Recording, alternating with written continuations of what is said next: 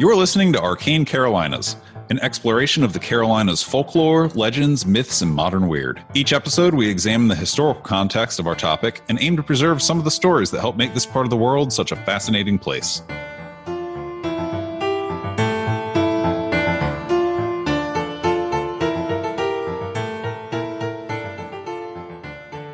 Welcome to another episode of Arcane Carolinas as part of our Fall 2020 Blitz. I'm award winning novelist Michael G. Williams, who writes many, many books about many different things, a lot of which are set in North Carolina. I'm Charlie Mushaw, and I'm happy to be here. I'm also happy to be here. I just like your money. Today we are joined by our Hatteras correspondent in the field, Joe Bird. Hey guys, how are you? Doing well. How are you? Good, good, good, good. Joe actually brought us today's story, which is out of Dare County. Dare County is the easternmost county in North Carolina. It was formed from three different counties in 1870, which is kind of a trend that we're noticing. Mm-hmm. So Currituck, Tyrrell, and Hyde counties were combined in 1870 to form Dare. It's named in honor of Virginia Dare, the first English child born in America. The county contains Roanoke Island, much of the Outer Banks, and approximately 85 miles of continuous coastline. It was originally inhabited by Native Americans of the Croatoan or Hatteras tribe, and the first English attempts to establish a colony in the New World took place on Roanoke Islands in the 1580s. Uh, it was the site of several failed attempts by the English, the last and largest of which being the Lost Colony of 1587. So they just kept throwing stuff at the wall to see what would stick, and nothing stuck. Unfortunately for everyone involved, what they were throwing at the wall were people. Uh, Even in the 1500s? you'd think they'd learn their lesson. Send another boat. Well, what happened to the last one? We don't know. Just send another one. In a previous episode, we talked about how Spanish conquistadors made it as far west and as and north as central Tennessee, eastern Tennessee, and western North Carolina until the local Native Americans got sick of the abuse and decided to run them all out and kill the ones who wouldn't get run out. And I'm just like, yeah, that's how you get it done. And then the Spanish learned their lesson. so, uh, eventually, the English were able to settle in the region, but the population remained pretty small throughout the 18th century. Famous things from Dare County Orville and Wilbur Wright had their famous first flight at what is now known as Kill Devil Hills, which I did a report on in the second grade. No way. Yep. Newspapers mistakenly reported that the flight took place at Kitty Hawk because that's where the telegram home came from. Ah, okay. It's home to an abandoned town called Buffalo City, which was a big bootlegging town during Prohibition. Was it a formal town or was it a place where a bunch of people did bootlegging? No, no, it was a formal town. It was a logging town. And then Prohibition hit, and they realized, hey, you know, all that moonshine we know how to make, we can base our economy on that instead. And that's what they did. And then when prohibition fell off, they tried to go back to logging and it didn't really work out. And the town just kind of was abandoned in the 50s, I believe. Okay. There's an old rusty rail line there and some rubble where buildings once stood. Hmm. There's Interesting. also Portsmouth Island. That might be Tyrrell County, technically, or what is now Tyrrell County, but it's an island south of Hatteras, kind of. So you got Hatteras and Ocracoke, and it's kind of just out there. And there's still buildings and stuff there. You can do four by four tours. You got to take a crazy, sketchy boat ride over. and Four by fours, and the Do you- mosquitoes. I, I hear the mosquitoes are like the size of a baseball. Do you mean to tell me that there's abandoned towns on barrier islands that are constantly slammed by hurricanes? I mean, theory, Why wouldn't anyone want to live there? Sorry, that sounds really disparaging. I've never personally been, but I hear it's beautiful. Joe tells me it's beautiful, and I believe him. I ran a half marathon in Kill Devil Hills and Kitty Hawk one year, and it was really, really fun, really great. Nice flat terrain. it's pretty good for a run, right? Yeah, it was really awesome. And it's the only half marathon I've ever run where locals set up tables to do shots of beer as you ran past. sounds about right. Got to carb up. Hmm Speaking of, Joe, as the local expert, do you have any businesses or establishments that you want to plug from Dare County? Sure. So my one of my favorite places to eat when I go down to Hatteras is Cat's Deli. It's in the north end of Hatteras Village at the Stove on 12. Cat makes awesome sandwiches. They're always really punny names. So my favorite is the onion tended consequences. which is a Turkey sandwich with avocado and a bacon onion jam.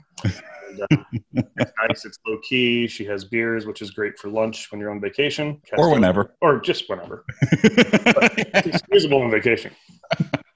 I, I think I've told you the story, Joe. Michael, I don't know if I've told you the story. This was a couple of years ago went on vacation to one of those all-inclusive places and they're just constantly handing you food and beverage right? So i was there for a week and came back and i remember it was like the first day back and i didn't have to work. It's like a monday or whatever. It was like my decompression day and i wake up and i eat my cereal whatever go about my business. Like an hour later i open the fridge to get something to drink and i start reaching for a beer and it's like 11 o'clock in the morning. I'm like wait no you are not on vacation. It's kind of funny the the things that we let ourselves do on vacation that become normal and then when you come back to reality you're like oh wait no that's not acceptable vacation is a spirit you can carry in your heart year round if you really work at it vacation can be anywhere if you believe yeah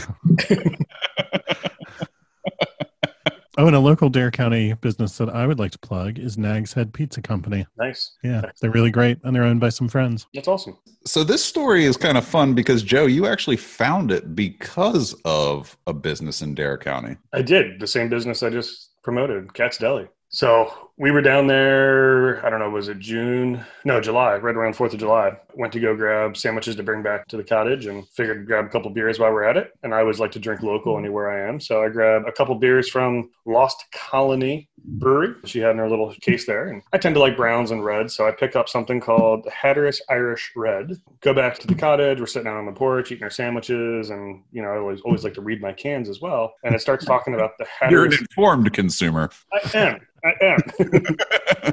so it starts talking about the Hatteras witch, which, which, which, which I remember after I'm reading it, I've heard the story before, but it never like sunk in. I never like paid any attention to it. So I start reading the story on the can and then do a little bit more research. And within an hour, I'm in the car going looking for the tree that's in the story. So and found it pretty easily. And I had never heard this story, so I learned about it from you, who learned about it from Lost Colony Brewery. How was the beer? Oh, fantastic! It's a, it's a, nice session red, uh, so it's like an Irish red. I think like Killian's, but a little bit lighter. Um, okay. Even though it's fairly light, really good. Sweet. And I had never heard it. You brought it to me. We're like, hey, you should talk about this. And I was like, you should talk about it. and Michael, had you heard it before? No, never heard of it before in my life. So we are going to talk about the Cora tree. It has appeared on all the cable networks that you would imagine Travel Channel, the shows that are like you know cases of the unknown it's been mm-hmm. on lore which is a popular podcast that actually had yeah.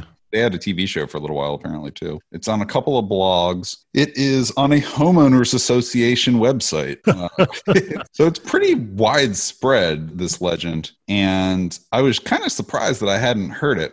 I tried to track down the origins of it, like we do, dig through names and try to find some records. And it seems to definitively have been told for the first time in publication by Charles Whedbee in his fifth book of Outer Banks legends and lore. Wow. Titled Blackbeard's Cup and Stories of the Outer Banks. So I found Chuckles Whedbee's book on eBay.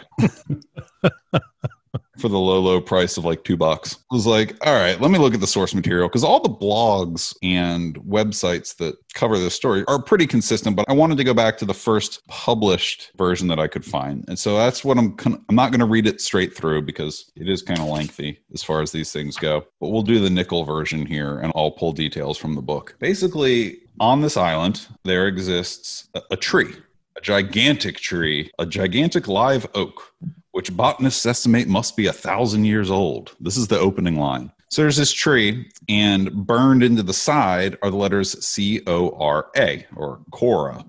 The legend goes that a witch was tied to this tree to be killed, and in an explosion, she disappeared while tied to the tree, and all that was left behind was her initials burned in, and nobody knows what happened to her. My first reaction to this is good for her.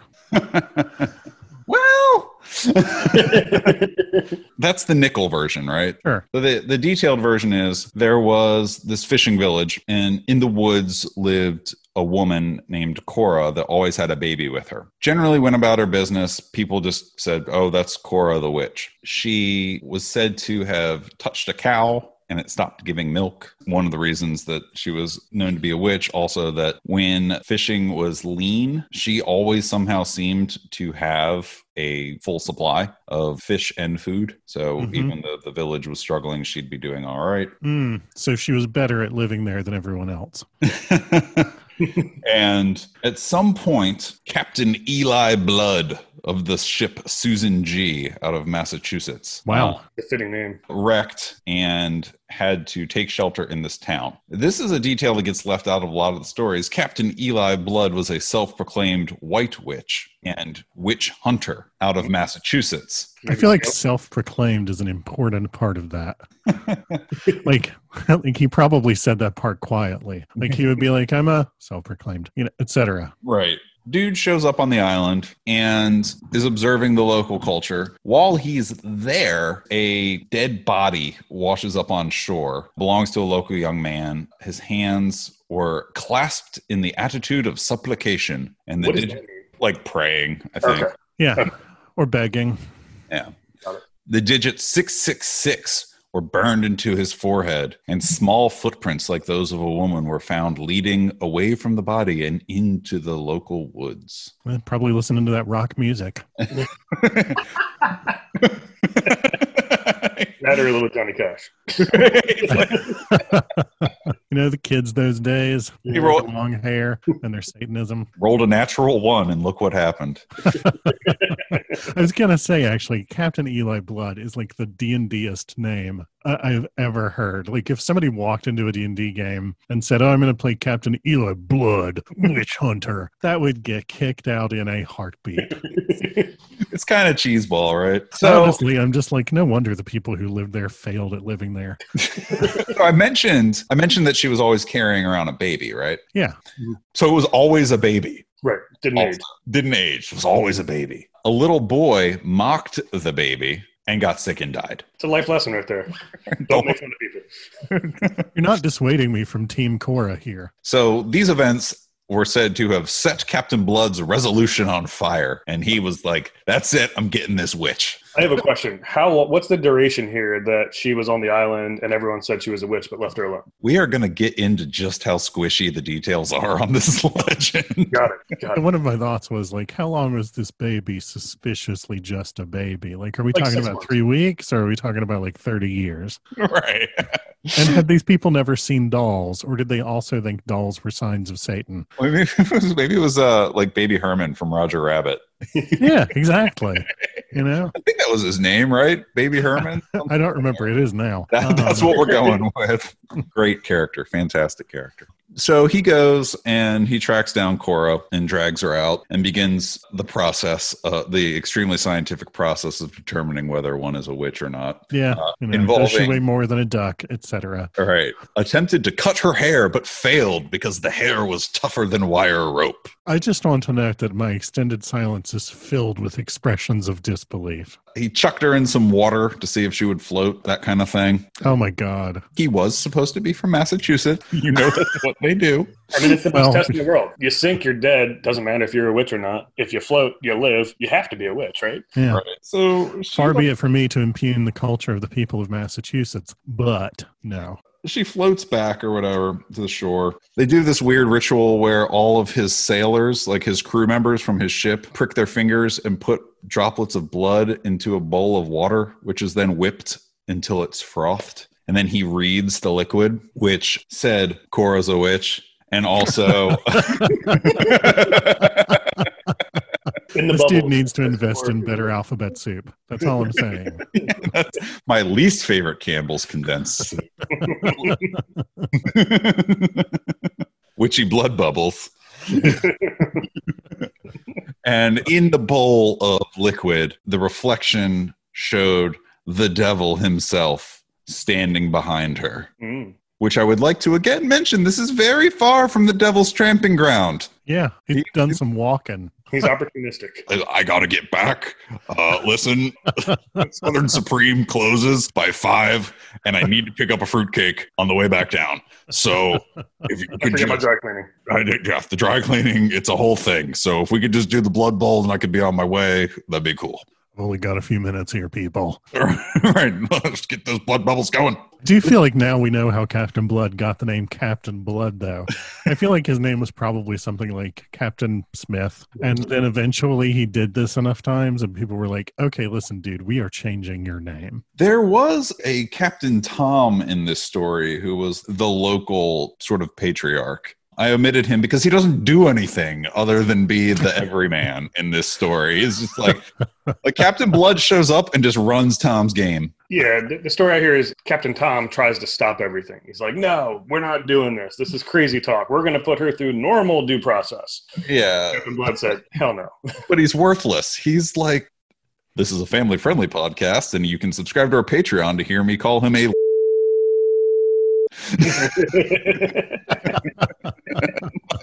All right, now the non Patreon version. This incredibly weak man who is run all over by the stranger from out of town For contributes real. contributes nothing to the story. He allows the residents of his village to be dunked in the water, hair attempted to be cut, accused of witchcraft, and almost executed because it, I feel like this guy is a character out of like any number of different TV shows. He's the mayor of the local town of the week from like a million different episodes of Xena, Star Trek, whatever. He's just like waiting for the crew of the Enterprise or Hercules or somebody to show up and teach him a very valuable lesson about leadership, mm-hmm. except they got the wrong guy to do it. I'm imagining the bumbling post-colonial mayor of a Spanish town in Zorro or something. exactly. Exactly. Like, I'm in charge here. Are you? I don't think you are. Maybe, Yeah, try telling that to the angry mob that are all pricking their fingers, bleeding into a bowl, and telling you they see the devil in it. I see it. maybe he just had too many Irish Reds and he was just hanging out. Maybe. So Captain Tom is worthless. Captain Blood has a stupid name. Cora is tied to a tree. Captain Blood's like, "That's it, we're burning her." Oh, they're also killing the baby. like a baby witch. in the story, she's still holding the baby. So, this is where the theatrics continue in the story. Up until that moment, the day had been a beautiful one with a clear sky and brilliant sunlight. Suddenly, there boiled in from the sound of one of the biggest and blackest clouds ever seen in those often stormy parts. The dark blanket of clouds spread over the sky like black ink poured into a pan of white milk. Little getting kind of purple in your prose here. The onlookers stared in disbelief. A huge clap of thunder sounded, and out of the black cloud bank there flashed a blinding bolt of lightning. It struck the live oak near the crown of the tree. The bolt split the already ancient forest giant from top to bottom. There was the strong smell of sulfur and brimstone, and the whole group crewmen, Blood, and Smith, and the islanders fell to their knees, blinded, choking for breath on a cloud of smoke. Good for her. Oh, we're not done. Okay. When the smoke cleared, there was no sign of Cora. The ropes were there around the tree, and the dry kindling still piled untouched. But no Cora. No sign except for the split tree and the four distinct letters of C O R A freshly burned deep into the heart of the tree. Wait, what's that you say? What about the baby? The baby apparently looked at them, looked at the villagers, turned into an evil cat, and bound into the forest This baby gets better and better. And he describes it as the Wampus Cat, which is a completely unrelated separate legend. The Wampus Cat?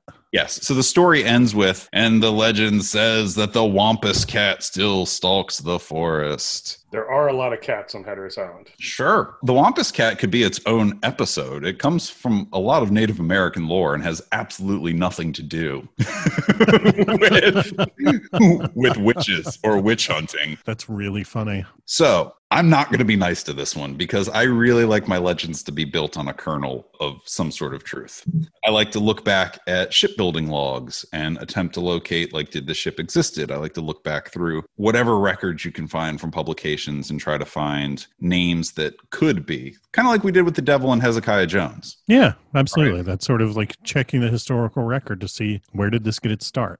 I don't know if I'd call myself a skeptic because I want to find pieces that the story is built on. So let's start with what does line up. There is a tree. You can see where it was hit by lightning, likely. And we'll look at pictures here in a second. It says C O R A on the side of it. Seen it. Joe has seen it. He took pictures for us. I'm going to share screen here. So this is supposedly the tree. And this is like 1700, right? This is when the story supposedly takes place. Yeah. It is a lovely tree, and it is very old looking. So there's the See that split. weird aura on that picture? I mean, it has nothing to do with the fact that the sun is facing my camera, and it has to do with the creepiness of the tree. You're doing spirit photos of trees. I'm in. I'm sold. So this is the split. You can make out where it says Cora here. Ooh. Oh, that That's- looks really neat. Yeah, it's cool. That's there. So I will not dispute that those details exist. But here's where it doesn't line up. The story starts immediately on the wrong foot and states that the tree is deep in the virgin forest. It's not. You can look up the Cora tree on Google Maps. It's got a four out of five star rating. Great for kids, I think, is one of the comments. It has leaves. Right. So it's It's supposed to be especially great for kids if they turn into cats and run away. So, like, let's suspend all disbelief and say that maybe the forest ran immediately up to the sand dunes, or Sure. let's say that. It's still not going to be deep in the forest, and she was allegedly dragged straight from the water and taken and tied to the tree. So that's kind of hinky. The sound isn't that far from there. And I will say that is probably one of the widest parts of the island. It's in part of what's called now Frisco Woods. hmm So it is considered the wooded area of the island. And do I think the story is real? No. But just to play devil's advocate, the perspective of those people, that is probably deep in the virgin woods for that island. Yeah, I am not necessarily here to be this story's defense attorney, but I do think it's worth considering the possibility that maybe the shoreline has moved because of erosion. We know that the barrier islands are slowly going away. Maybe their definition at that time of deep in the woods was very different from ours because it was a much less settled time. Getting far outside of civilization took going a lot less distance. I hear you. But this book was published in 1989, and the neighborhood where the tree exists began development in 1966. Uh, okay. It includes artificially dredged canals and as the person first publishing this story, I feel like representing it as deep in the virgin woods as a thousand year old tree because that's exactly what he does. He doesn't say it was deep in the forest or, you know, there's deep in the heart of the virgin forest on Hatteras Island, there stands a gigantic live oak, which botanists estimate must be a thousand years old. Okay, present tense is kind of killing my enthusiasm for the possibilities. As an author, I feel like he does himself a disservice there Yeah. by making it again, like you said, present tense. Yeah, he's So- got to gin it up a little, I guess. Here's his picture. Oh, bless his heart. So the tree is described as being a thousand years old, as an oak on a barrier island where hurricanes hit. So I was like, okay, well, let's look at the tree. It's what is known as a Quercus nigra or water oak, which has a lifespan of between 60 to 80 years, 100 if conditions are perfect. And it's not what I would call gigantic. I would say it's a normal sized tree. Yeah. It is big for Hatteras because most trees don't last very long because the hurricanes take them out. Yeah. So there's no records of Eli Blood, the brig Susan G. out of Massachusetts, Captain Tom Smith, nothing. There's no historical record for any of these people. No. And as we saw with the Devil and Hezekiah Jones, I was able to go back into the 1700s and find actual records of people in a neighboring county. Yeah. Did you look in Massachusetts for Eli Blood? I looked everywhere for Eli Blood. We also think Eli Blood's a moniker, right? Like we don't think that's his real name. I feel like it's got to be a working name. Like Eli Blood is basically this guy's drag name. So it tosses in a legend that's completely unrelated at the very end of the story, almost like a hook for the sequel, right? Yeah.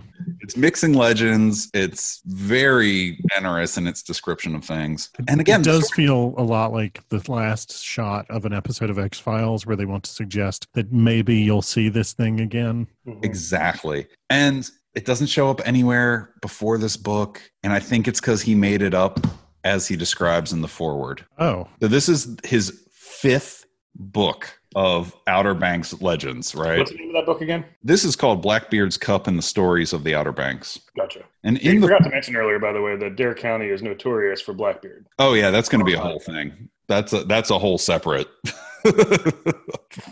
He talks about other legends are handed down through generations as fact. Some are pure fantasy. These are born out of long and gale-ridden winter nights where the Outer Banks were stormbound and offspring clamored for a story of long ago. The ancient Chinese had a saying of "It is written." so he basically admits to making like What? I think what he's saying is he didn't make it up. I think he's saying that these are stories that are highly unlikely to be accurate, that are just lore of the folk who were stuck without power. Well, probably well before then, but stuck and just there's nothing to do because the storms demolished the island. Yeah, I think he made it up. I've got four of his five books, and they start with stories that very much have record prior to his writing about them. I feel then- like his whole reference to there being a Chinese saying of "it is written" is a very highfalutin attempt at the same sort of thing that, say, certain national figures do when they would like to make a baseless assertion, and so they preface it with "people are saying," and then they say the thing because they technically are people. Yes. Um, so this is definitely a fun story to tell kids. Maybe not the pricking the fingers and frothing the blood and seeing Are Satan. you kidding? I think that's fantastic to tell kids. Hey, Maybe kids, was- buy my books. so this was the last collection of original works that he did. He passed away the year after it was published. They've since done, they being his publisher, has since done additional collections where they sort of cherry pick stories from across his catalog, which is cool. Mhm. I appreciate that this guy put in the work to fill five books. But I'm calling total shenanigans on this one. If I remember correctly, you mentioned that you, and you might be about to get to this, and so I'll stop talking about it if that is the case. You found other instances of people asserting having the same thing, right? Yeah, so this is a big problem that I have with coastal lore. You'll find the exact same stories up and down the Carolinas coasts. Like the dram tree, for example. There's an Outer Banks dram tree where sailors would place a bottle of rum inside the tree on their way in or out of port. And Wilmington claims the exact same legend. Oh, okay. So, like multiple towns. And this is because of the transient nature of sailors, right? hmm That's not the case with this story. All roads just go back to this book. I was hoping that I could build a case that maybe this is something where there is a kernel of truth to it somewhere, but the details have been changed over time, in part because of the transience of the people telling the stories. And so, you know, what if it really is based on something that actually happened in terms of someone accused of witchcraft and then she makes a, a tidy escape? But know? that doesn't even line up with the era of what was happening on that island at the time. The big witch craze was more of a northeastern thing that didn't really come into the southern colonies quite as much. In fact, the opposite is true, where you look Yeah. at traditions that we've talked about out of South Carolina, North Carolina as well, where different types of root magic and what we would call witchcraft were happening and accepted Yeah, absolutely. There are countless stories from the place where I grew up in the Appalachians of, you know, the aunt, and by aunt I mean directly a relative of mine who was the local witch woman for the town, basically. And ultimately, a lot of these people were the people with herb knowledge. But by the same token, like my father went to a witch to have a medical condition cured when he was 12. That was in the 40s. Right. Wow. So I, I do feel like if you have an understanding of the historical reference points of the witch craze, that undercuts this story too. The only thing I would say contrary to that is Hatteras is an island that's accessible by a bridge now since the 50s, 60s or something like that. And they put the bridge in. Prior to that, it was boat only. Mhm. So, especially without internet and things of that nature, stories would take a much longer time to travel to and from Hatteras. What year was the witch craze in Massachusetts? That was what? The, 1700s. yeah. So that could take years to make its way down as like any sort of news because the only people coming and going were sailors for the most part. I feel like the witch trials in Massachusetts were maybe late 16th, early 17th century. They were 1692 to, six, to 1693. Yeah. So, So, okay, so late 17th century. So 1700 ish is when the story is. Mhm. I mean, it, it, I could see it taking that long to get down there is actual. Well, that I think that's why they make sure in the story that Eli Blood is from Massachusetts. Yeah, absolutely. And the whole bit with touching a cow and it stops giving milk, that's straight out of Massachusetts witch craze. Did they Uh, have cows on Hatteras Island? Yeah. That's a very good question. I, I feel like this all adds up to Oh, a big cautionary tale. It, it's kind of like a cultural meme of the time. right. Like, let's say that this happened because we would like for it not to happen here. again, great story to tell the kids while you're on vacation and, and go, ah, look at the tree. But the fact that a homeowners association for the neighborhood that it's in has a whole thing posted about it, tells me that it might have even been concocted based on the age of the tree as a marketing ploy. Wow, that had not occurred to me, but I like Like- that a lot. Hey, check out the Brigands Bay Homeowners Association. We got a witch tree. And this dude that wrote the book was like unofficial mayor of the Outer Banks. Like people loved this guy. He was some sort of high-ranking judge and lifetime lawyer, very prominent figure in the Carolinas during his time on this earth. So somebody would have been like, "Hey, Chuckles, check this out. Why don't you make a story about that?" And be like, "Man, that's a good idea." yeah. I like that. There is a tree. It says Cora. Also, the name Cora, especially spelled with a C, couldn't really find any records of that name in general. That name got very popular after Last of the Mohicans was written. Oh, interesting. But prior to that, it wasn't like a super popular name. There's a German derivative spelled with a K. Anyway, point is, Shuckles Whedbee made it up. It's a good story to tell the kids. That's my story. I'm sticking to it. So, Joe, when you Yeah. were there, Yep. how high up on the tree was the word Cora? Chest height, maybe eyeball height. I mean, not very high. Okay, so clearly not a tree that has been getting taller for 300 years. No. So I just looked up the angel oak, which is a live oak tree in the Charleston area. I don't know if you guys have ever been down there and seen that tree. It is a monstrous tree. And that tree happens to be 400 to 500 years old. And it is a monstrous tree. What type of oak is it? It is a southern live oak, a Quercus virginiana. Yeah, see, it's a different variety. Sure. But still, that's one of the largest trees, oldest trees ever to still be in existence. And Charleston certainly gets its fair share of hurricanes, but not like Hatteras. So Yeah. that was my, my first impression of the story was, that's a cool story. How is that tree still there? Yeah. Maybe she cursed it and it won't grow and it won't break and it won't bend and it just stays. Oh, I like that explanation a lot. I love the explanation that the story is true, but having her tied to it has now stunted the tree permanently. It's now preserved, sort of like an insect in amber. hmm I like that. I like that a lot. Let's start that rumor. Yeah. Another Uh, question I have is like, do other people go there and carve their name into it? Surprisingly not. And it, Okay. I will say this I've been going to Hatteras since I was a kid. I've probably driven by this tree 50 times. Never paid any attention to it. It's not marked, it's not like a big thing. There's a GPS marker. That's the only reason I found it. And I drove by it the first time and I went, wait, that tree? It's not that big. I turned back around, I pulled off. It's like a little, the road comes in and there's like a little median and the tree's in the median, kind of goes around both sides. So I just pulled off in the grass and it took me a couple minutes of looking and I found Cora. There were a couple other people stopping as well. In COVID world, with nothing else to do there, if you're tired of the beach or you're sunburned, you're probably just driving around looking at sites. Yeah. Looking at trees. Oh, that's fascinating. I also wonder what are the Nextdoor threads like for that neighborhood association about whose turn is it to, you know, mow around the Cora tree, et cetera. No, I refuse to mow around the cursed tree. Mm-hmm. Get over yourself, Kathy. Mow around the cursed tree, et cetera. If it's anything like Nextdoor in my neighborhood, then that's what it's like. Wampus cat uh, scene. Can somebody please come get it? Yeah, exactly. Last time I mowed the tree, my blade stopped. so that was a fun one, though, Joe, and I really appreciate you bringing it to us because we haven't really attacked a topic like this. You know, generally we start off with a, ooh, that's a neat story. Let's do what we can to find what's real about it. And in this case, it was like a bad box of strawberries where you're like, oh, that one's bad, but that's okay. Underneath of it, if I just get the next one, the next one will be Mhm. okay. Nope, nope, nope, nope. And it was like, okay, strawberries are a terrible analogy. I'm hungry. I, I just had to chuck some strawberries that had uh, gone off. That's why I'm thinking about it. But Mm. the point is, every thread we pulled out was just, just came right out while Yes. researching it, and I was just like, "Oh man, It's like the bag of lettuce. It looks all fresh on the first layer, and as soon as you open it up, you've got like Yeah. lettuce. Everything else is mush. welcome to produce talk."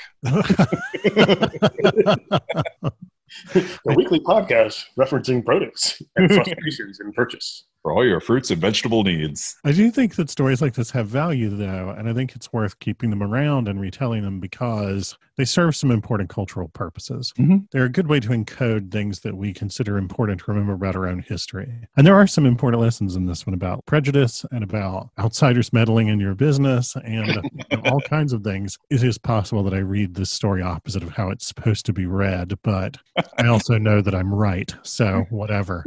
Uh, And so hum- and so humble too. you know it, obviously. I told you that writer me is different. it, they encode a lot of things that it's important for us to remember, and they tell us about our history, and they're an important way to tie significance to local places and to give people a sense of what is around us has been around us for a long time, and so may be around us and the people who come after us for a long time from now. And what we do may be remembered in the same way that we try to remember what was done. Mm-hmm. And I feel like those are all important lessons for people to learn, and those are really good things for us to use storytelling to try to keep alive. Yeah. I'm just happy that we added to it and made up a new detail. Absolutely. hmm Curse the tree. So, as part of our October Blitz, we're doing extra episodes. Got guests this month. It's really exciting. Uh, we're having a giveaway where if you post on social media Facebook, Twitter, Instagram, and use the hashtag Arcane Carolinas, you are automatically entered into a drawing to win some swag from our web store at arcanecarolinas.com. We've got pint glasses, we've got stickers, we've got koozies, we've got shirts, and we want to give them out, a few of them. So, use the hashtag Arcane Carolinas and we'll do our best to get you some of that. We have a new sticker for October as well. Rocking. Thanks for I'm having proud. me on. I appreciate it. Yeah, thanks for being here, Joe. It's so lovely to meet you. Yeah, likewise. And, uh, If anybody needs me, I'm going to be gathering sailors together and pricking their fingers.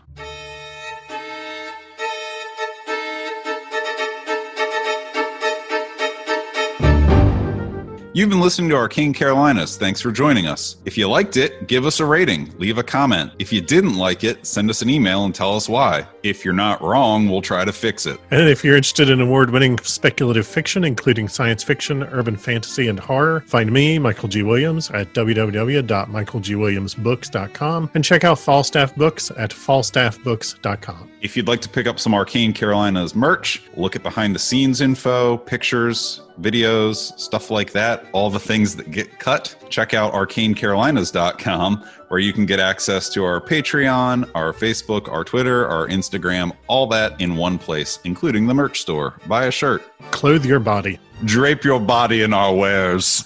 be our living billboards.